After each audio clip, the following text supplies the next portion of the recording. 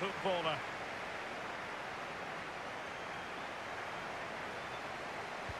Goalkeeper beaten from the spot. Bread and butter, Derek, bread and butter. In it goes. Well, that's why players practice penalties in training.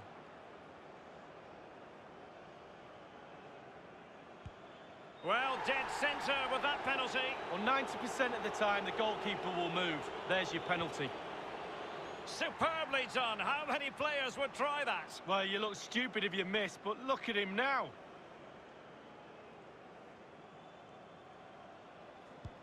Oh, he saved it! Well, the goalkeeper guessed, but he guessed the right way. Good save. And he squandered it, off target. Well, he looked nervous, didn't he? He's gambled on direction and won. Well, he's got his angles right there. Just look at that for goalkeeping.